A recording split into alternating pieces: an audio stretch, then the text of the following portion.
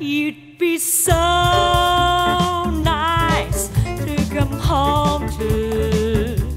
You'd be so nice by the fire, while the breeze.